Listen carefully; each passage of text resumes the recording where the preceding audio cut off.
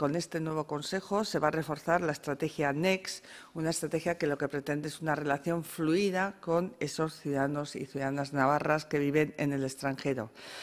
Por un lado, porque entendemos que hay que mantener vivo ese sentimiento de pertenencia que exhiben y facilitarles información y herramientas para que puedan tener los mismos derechos que las personas que viven en la comunidad foral, tal y como se expresa en la ley foral. Y por otro, porque dentro de lo que llamamos Navarra en el mundo, está claro que estas personas ejercen como de los mejores embajadoras y embajadores de nosotros mismos, de esa marca Navarra en este mundo global. Por ello, era imprescindible, tal como decía la ley, articular un sistema de relación estable con un registro y participado de las comunidades que existen repartidas en el mundo.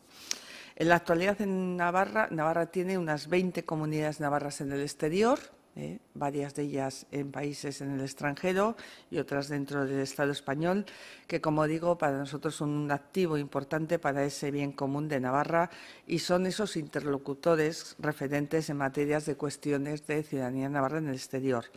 Estas comunidades tendrán un peso importante en el Consejo que ahora vamos a constituir. Tendrán eh, entre las 18 vocalías que tiene este Consejo que eh, echada a andar a principios del año 25. Gobierno de Navarra. Nafarroako gobernua.